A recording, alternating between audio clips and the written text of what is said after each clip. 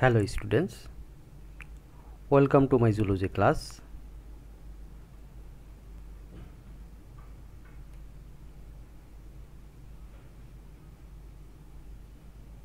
This is Akmol Hussain lecturer biology Square High School and College. Now I am going to take a zoology class of standard 7 chapter 5. There is a picture of a system of our body which is related with the digestion of food. Today's topic is digestive system. What will we learn from this class? We will be able to know about parts of digestive digestive canal, functions of different parts of digestive canal digestive system. What is digestive system? You know. Digestion is the breakdown of large insoluble food molecules into small water soluble food molecules so that they can be absorbed by our body. The organs which take part in digestion is called digestive system digestive system of human body mainly divided into two. Number one alimentary canal or digestive canal. Number two digestive glands. Parts of digestive canal. There is a figure of digestive system of human body. Number one mouth. Number two buccal cavity. Number three pharynx number 4 esophagus. Number 5 stomach. Number 6 small intestine. Number 7 large intestine. And finally anus. Dear students you have to practice the drawing of digestive system of human. It will be tough for you but you have to practice more. Then it will be easy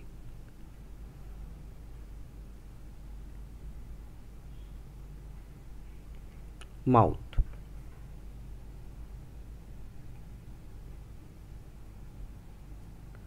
on the upper side of mouth is lip and the lower side is the lower lip. Through opening and closing of these lips we control taking of foods. Function food enter into the buccal cavity through this opening. Number 2 buccal cavity. The second portion of our digestive system is buccal cavity. The buccal cavity is surrounded by two jaws and teeth. Above this there is palate and beneath there is muscular tongue.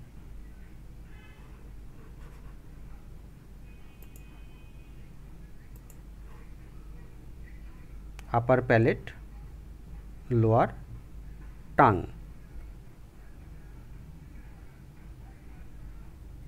Moreover there are three pairs of salivary glands. Both side of the oral cavity.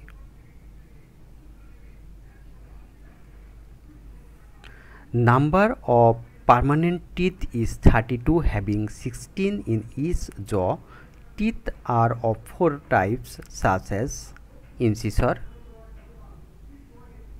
these are incisor that cut food particles into small pieces then canine this is canine this is also canine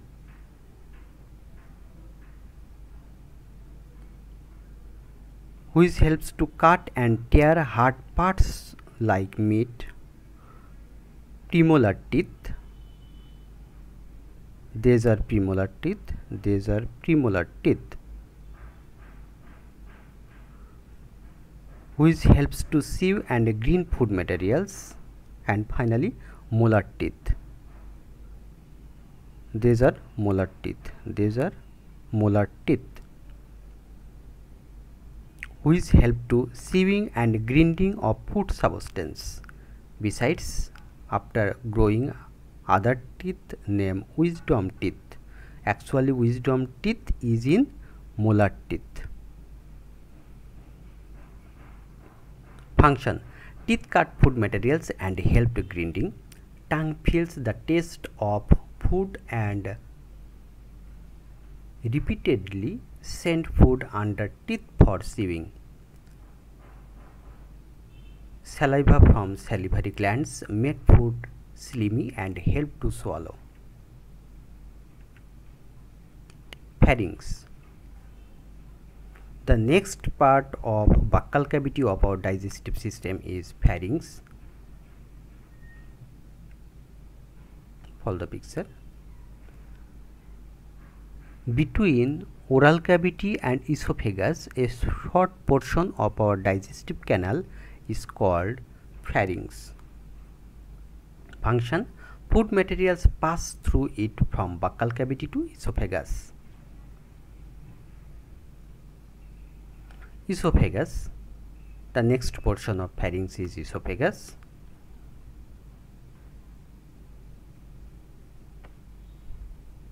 Follow the picture long tube-like structure between pharynx and stomach is esophagus.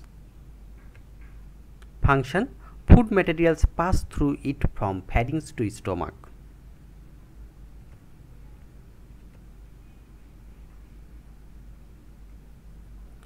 Stomach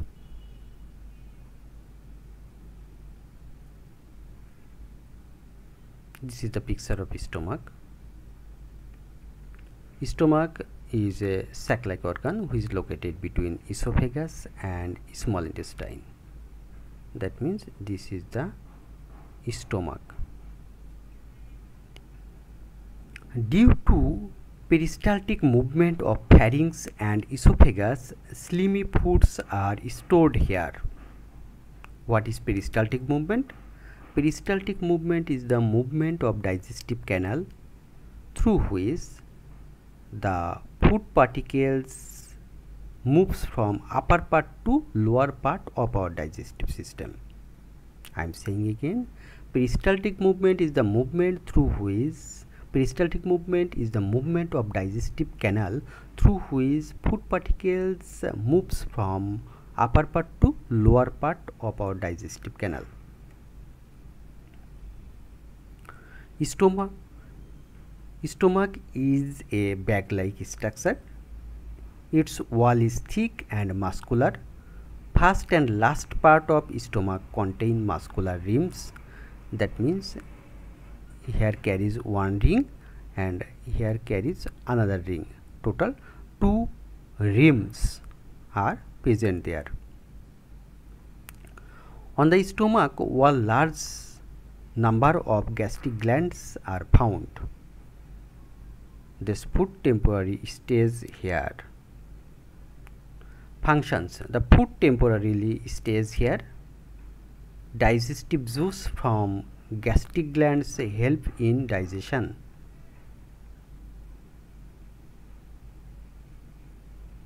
Small intestine. It is the next part of digestive canal small intestine is again divided into three parts. Number one duodenum. Follow the picture.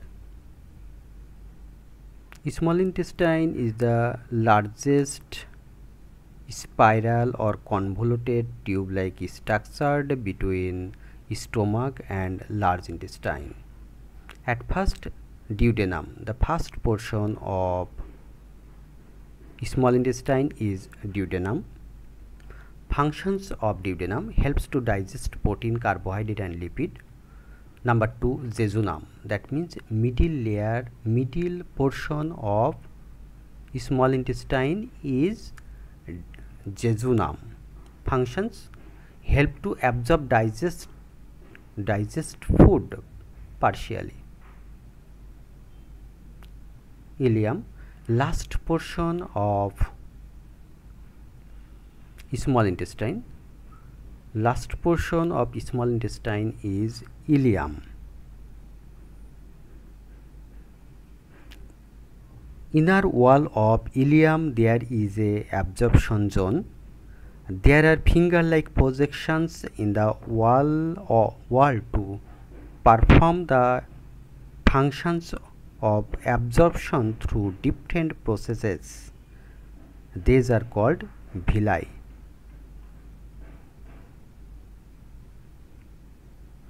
Functions help to absorb the digested food. Large intestine. The next portion of our digestive system after the small intestine is large intestine. Large intestine starts just after the small intestine. It extends from ileum to anus. It is the joining portion of small intestine and large intestine. There is a valve. It is smaller than small intestine in length but its diameter is greater than the inner diameter of small intestine. That's why it is called large intestine large intestine divided into again three parts. Number 1 cecum. Please follow the picture. This part of large intestine is called cecum. Colon. The middle portion between cecum and rectum that means most of the part of large intestine is colon. Rectum. Next part of colon that means from here to before the anus. This part is called rectum.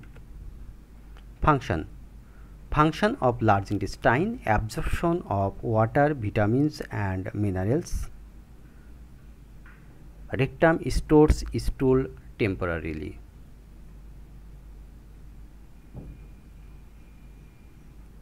anus the last portion of our digestive canal is anus anus is the last part of digestive system.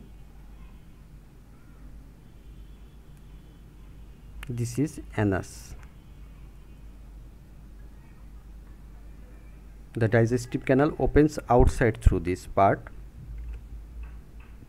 Functions undigested part of food is removed from the body as stool through anus. Maintain social distance. Follow health rules. Thank you